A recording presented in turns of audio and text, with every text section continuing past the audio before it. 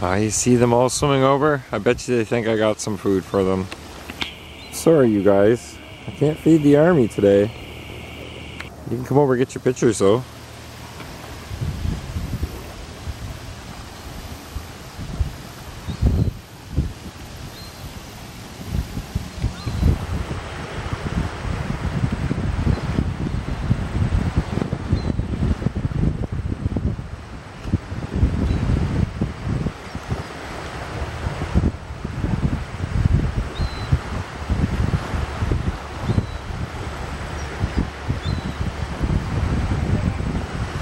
Good morning, everybody. Random Andrew here, coming to you from beautiful Port Stanley in the lower section of Ontario, Canada.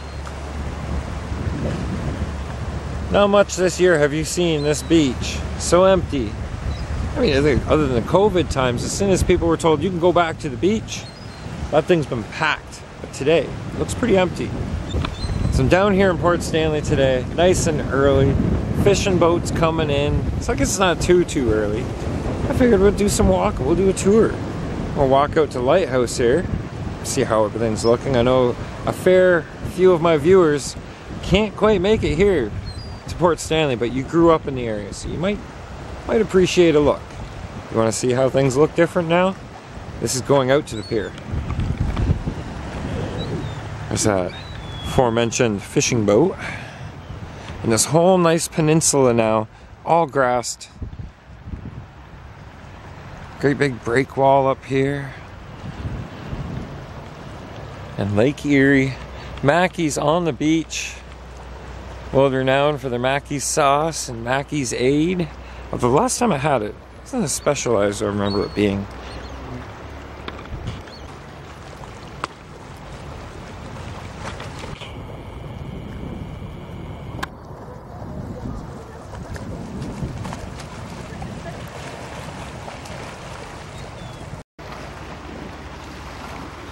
Port Stanley Pier. This has changed a lot since even I was a kid. I mean, this whole beach area has changed a lot over the years. Trying to get you guys a decent shot. It's an old aerial photo from back in the heyday. At the Stork Club on the beach, I got bees just swarming around me. If you type Old Port Stanley, Ontario, you'll see there used to be so much more on that beach. That beach. So that Stork Club, that big old building in the picture used to sit right around here. And they say if you go out there, you can still find pieces of the dance floor way under the sand.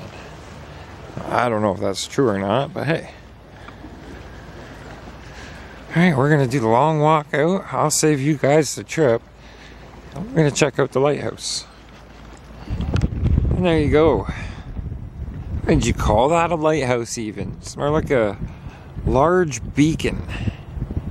I remember when we were kids, you'd be able to go all the way around on the platform that sits down there. You can't even see it on this side. Kids would swim out here. Kids would drown out there, unfortunately. Yeah, you can see there's a ledge that goes all the way around. You just hop down and you go out. That's that. Not recommended though. So what a view it is. Even from here, I can see windmills way, way off in the distance. Let me give you guys a nice zoom of the shoreline here. It's quite the sight.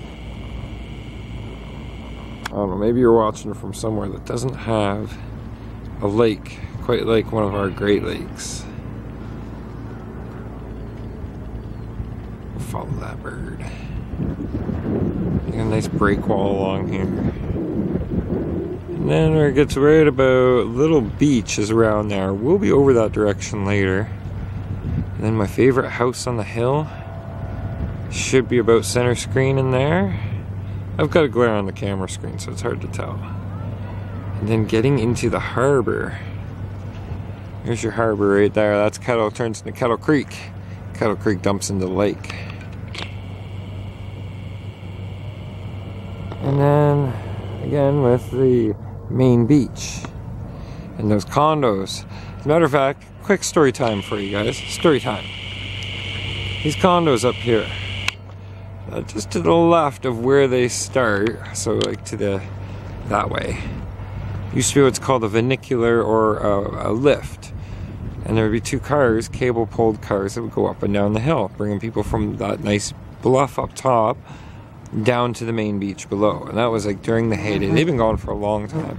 So I was trying to track the location and figure out exactly where they were. And I got kicked off the property up there because I'm not somebody from that little area. And the guy was quite offended that I was there trying to retrace history. Unfortunately, some people you just can't reason with. Okay, so I'm gonna walk all the way back in. Let's check some stuff out right on the main beach area, and then we'll head on slowly over to Little Beach. Port Stanley, Ontario on a beautiful morning. A little bit of wind. It's not bad at all. Doesn't that look like a good bit of fun right there?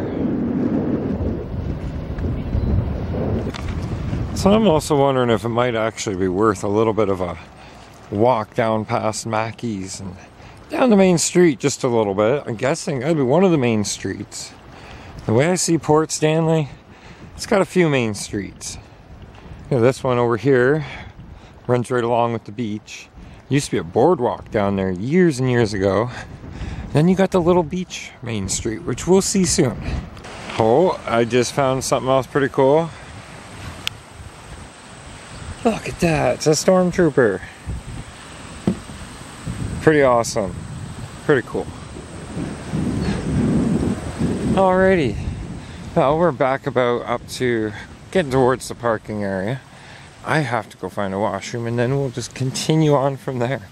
One more quick look at this area here. These ducks, you walk up to this area, they all come swimming over. They're so used to being fed. Good morning. And side note, very friendly, very friendly area. You say good morning, just about anybody, they say good morning back. That's just how we roll in Canada. So after a rather lengthy excursion to go and find a bathroom, I did actually, I'll show you where that was in a minute. I'd give you guys a much closer view of Mackie's on the beach. Beautiful place, been here forever. And the beach just empty, a few people out enjoying the sun, enjoying the day. We're gonna go check out these two folks right here. So what are these two guys all about? What's these sticks they've got? It's like hiking sticks, I'd say. And then I seen Elgin Hiking Trail. 900 kilometers to Tobermory. I'll take the highway, thank you. but wow. There you go. You have to look that up if it interests you. That's pretty neat, eh? They each got little backpacks on. Representing the hiking trail. So imagine that being that it goes to Tobermory, probably links up to the Great Canadian Hiking Trail. And I'm still getting buzzed by bees, so we gotta keep moving back to the beach safely. COVID beach safety, you've heard enough of that stuff, you don't need to hear it here. These tables are for Mackie's customers only, and rightly so. You pay to get some good fries, some Mackie's sauce, and some Mackie's aid. You're gonna wanna have good seating, or at least seating. It's the old Mackie's sign established 1911. Think about that. Pretty groovy. Alright, so on my adventure to go and find bathrooms, and yes, I'm still getting buzzed by bees. I don't know if you guys hear that, the camera microphone picks it up, but they have no fear. They will come and take your stuff. In other words, they'll come and sting you. But this is all so really built up now. I've never really taken the time to walk the beach. So we're gonna do that together today. One more look back here at the pier. The backside of Mackie's.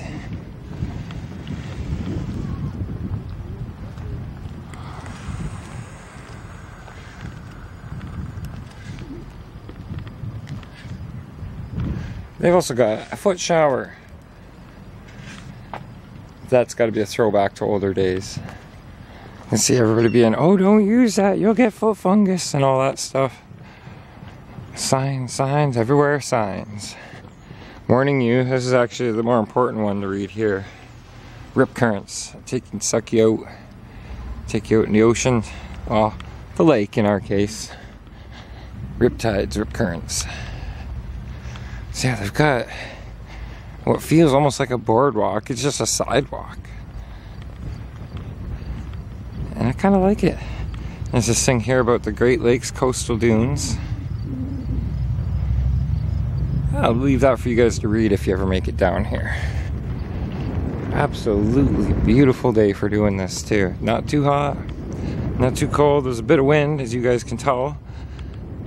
But that's not too bad. Some playground equipment. And in case you yourself ever down here in port and find yourself in the situation I was in about 10 minutes ago, bathrooms are right on the other side of this dune. And they're free. So if you gotta go, you gotta go. There's that blue flag. Proud to fly the blue flag. And I'm pretty sure it just talks about beach cleanliness and hygiene, keeping it a nice beach. You get that flag when you're a renowned nice beach. We're gonna come back around the other side of this, take a look at those in a minute. I don't know if you ever seen on Facebook, they talk about wheelchair accessibility at the beach. This is it. And let me tell you right now, you could 3D print something better. It would take a whole farm of 3D printers to do it in a short amount of time too. But you could actually 3D print these things. Yes, I'm learning a lot about the 3D printing real quick, which brings me around to the next subject. And there's the wind, just as I wanted to say my bit. I'll, I'll tell you after, just stay tuned. I got something to say about that. So I imagine right around here somewhere, trying to shield you guys from the wind a little bit, right around here somewhere, would have most likely been the Stork Club. Somewhere out here could be possible dance floor bits way under the sand, probably like six feet or deeper down. All right, let's have a look. This is right here. This is the backside of GT's Bar and Grill, and they're they're full rip. They're giving her. And yeah, basketball, and you don't have to play it on the grass either. yeah, you'd have to see a pass vlog to get that. So here are these free washrooms I speak of free to the public. So if you gotta go, you got a spot. And believe me, it was it was life saving. Yeah, so here's GT's itself. It's been around a long time. We'll wander around the front. We'll have a good look at the front side of GT's. I recognize that big old Dodge sitting there though.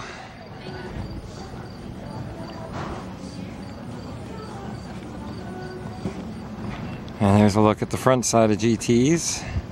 I don't remember this not being here. I mean, it's always been here. And then just to kind of show you, Port Stanley staying up with the times. They actually got an EV charging station right here at Giant Tiger, or Giant Tiger, GT's on the beach. I don't know. I'm just gonna stick to a well-tuned internal combustion engine because electric vehicles, yes, they're handy, they're good for the environment. Those lithium batteries, though, I tell you, they're real hard to get rid of and mining and mining them is a real pain in the butt too. You don't even want to go there. Future isn't electric vehicles, it's fine-tuned internal combustion. So we got pay parking. Yes, I do believe it's all pay parking here on the beach now. So if you want to be able to park conveniently, make sure you bring those dollars and tokens and coins to pay for your parking. A colorful set of bathrooms too, right? It's better than just some drab gray. And believe me, there's ample amount of pay parking. As well, there's also bikes you can rent and ride around port for the day. That is pretty cool. So there's a pavilion here now as well.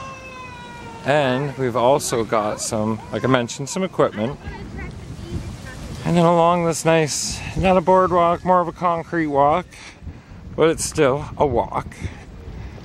And we're coming up on the backside of Mackie's. You have to forgive me, I don't know this place. I've never been there. Don't even think I've ever heard of the name. And then we got Casmania over here, and I've never known what it is. They'd make a cool little beach surf shop kind of deal. We're gonna go back over to the Mini and then we're gonna head to the other side of port. Gotta love me a nice clean Vette. Even if it does have a Mazda giving it some kind of exam from the back. Look at the size of those calipers. Like that's huge, or is that just a cover? That is just a cover. Oh, that's so sneaky. That's sneaky. Okay, like I said, it's a nice day.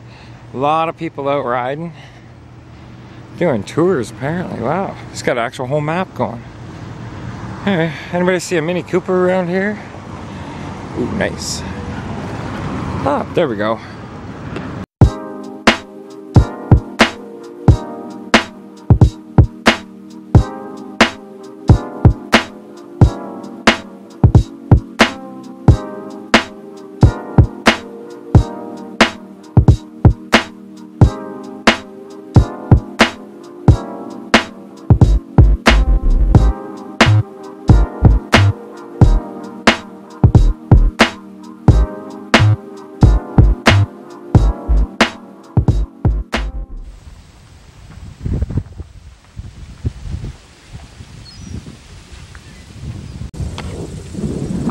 Little Beach.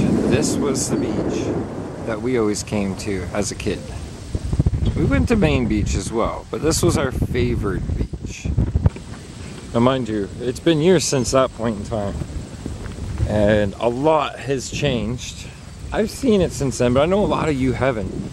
So, this berm, this peninsula that I'm standing on, there's the parking for Little Beach behind me right here this is all changed. You used to be able to drive around it if you had like a 4x4 or something, and there's a great big wetland area in the middle. Have a look at it now. Huge goose habitat. And like this this big open field. I wonder if they let anybody camp here. I'll have to check the thing and see if it says no camping or not. Mean, we don't want to get close to this many wild flying hissing cobras Canadian geese, in other words. But it looks like they've got a little water inlet and everything here. They got a whole habitat section now. That's pretty cool. I don't know if it's legal, but you can apparently have fires here. That's what it kind of looks like it's made for. Alright, so I wanted to just do a quick shot of Little Beach. We're gonna park closer over this way, and then I gotta show you guys something really awesome. Really, really, like, to me, it's probably the best looking street in all of Port Stanley. So, we're gonna relocate the Mini, like I said, and then we're gonna go have a look at the most beautiful street in Port Stanley, Ontario. And on another side note, for years, you see where those porta potties are? For years, there used to be those two vernacular cars, in other words, two cable pulled uh, lifts. I can't remember the actual name that they referred to as. But anyways, they sat right here on display for a couple of decades. And I always thought because it's cleared here that this is where they went up and down. But what would they be going up and down to? Just sell one house? No, it was it was over here. But you could see them here. So if you remember seeing them here when you were a kid, that would be why.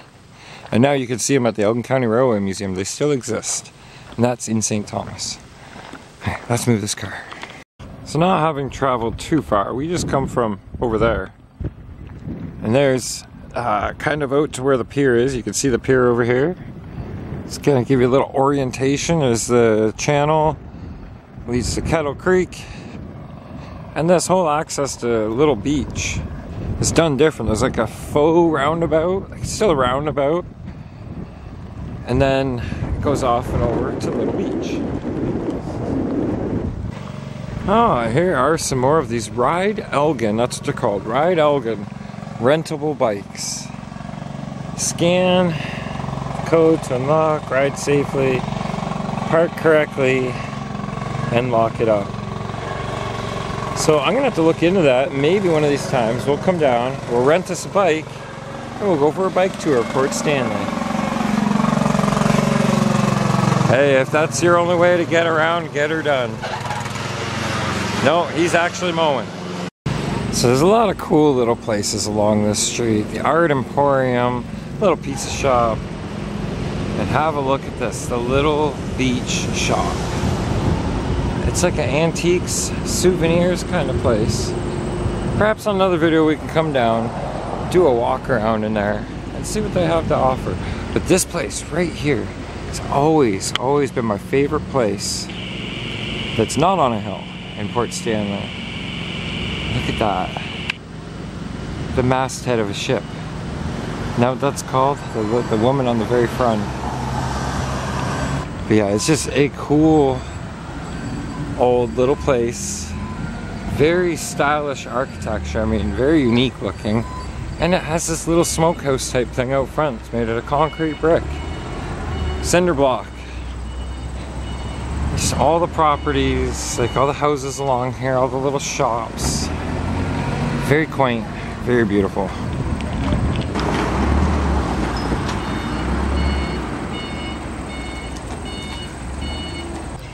And well, if you know me, you know I just can't walk past that. You can see flames in the front. Oh, this looks great. That is one beautiful truck right there. You want to talk classics? I'd love to hear it though. But she's got something nice in there. Okay, anyways, on with the tour of the streets. Golem Fisheries. Portside Art Institute. So that's two art places so far. And we'll get a better look at that from across the road on the way back. And then there's places like Inn on the Harbor. You can rent a room here. Pretty sure that's why it's called an inn. And you know, as the channel grows, maybe if my channel ever starts making any kind of monies, we can put that into going and finding quaint little places along lakesides like this stay in them overnight, see what it's like, see what the towns are like. Because all these little lakeside towns are all quaint like this. Look at that. It's got a little wench and pulley up there and little doors. Hmm. Very much a lot of beautiful architecture, a lot of lovely buildings down here, a lot to see. So if you're out and about Port Stanley and you're looking for somewhere, something to do, even if just for the exercise, I really do recommend Port Stanley as a place to come check out.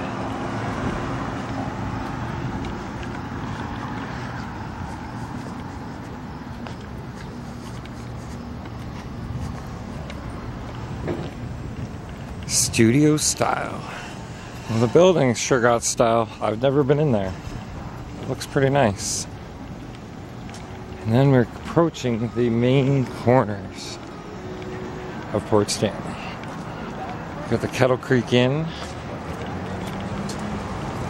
How's oh, it going? Yeah,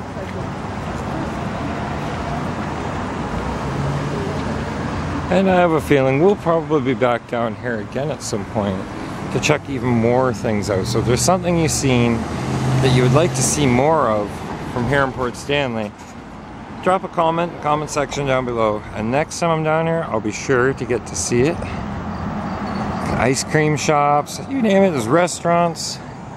And there is a lot more. There's a fire hall. There's a lot more to Port Stanley than what I've shown here today. I just got a message. Uh, the whole reason for me being here today is done what they were doing, so it's time for us to be going. But I thought a nice, quick little walk around historic Port Stanley, beautiful Port Stanley. Come check it out if you're in the area pretty sure you won't regret it. So I just noticed something that I did not know, did not ever see before. This is the, or the it says the Telegraph House, 1875. Now, you know from our local cemetery research and all that, 1875 goes back a good ways as far as Ontario goes. But this Telegraph House, I've never actually noticed it said this here before. Yeah, so save some time here, I just read through it real quick. This is the guy who built this manual Payne. Uh, he built it on the foundation of John Bostwick's original home, Bostwick being the settlers. If you watch my Port Stanley Cemetery tour, you will see that on there. But uh, after being restored, they called it the Telegraph House, and they say it's appropriate. And this is a bed and breakfast, by the way. Uh, this was um, the telegraph agent for Port Stanley as early as 1865. So there you go. And it says right here, played a vital role in connecting Little Village, this little village, to the rest of Canada's West. That is so cool. So yeah, another hidden mystery moment in the random vlog. Another bee too. So just keep watching, you never know what we're gonna see. Another quick look at the inn on the harbor. I don't want to leave Craig waiting too long. Yes, that's that's who we're down. Craig needed some help getting down here for work today. And I thought, what a great chance to come down and film some awesome stuff for my excellent subscribers. Pretty cool. And I mean, it's very scenic, very scenic. Get us another look at this beautiful building here. This little cinder block shack. What does it say? Heritage Landmark, 1900. There you go. Okay, well, I guess before I close out this vlog, I shall say a few quick words. Oh, wait till we get it past here. Have a look at some of the things out front. This is the kind of shop my mom could get lost in. Hey, maybe we should bring you down here sometime, mom. I know you'll be watching. Ooh. Okay, can't get distracted. Craig's waiting. So yes, one last thing before we close out the vlog. If you stuck around, you're lucky enough to get to hear this right here, right now.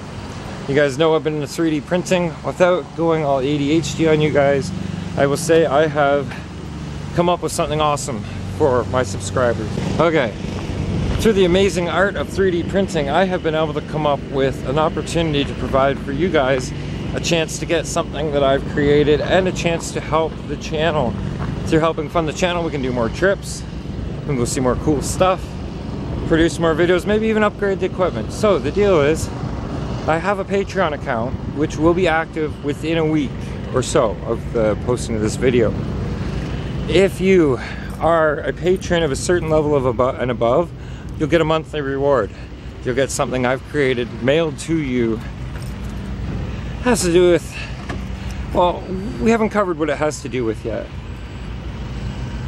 But when the things are created, and I have some created, I will show you and you'll see exactly what I'm talking about. It's so hard to explain right now. I've got to go get Craig.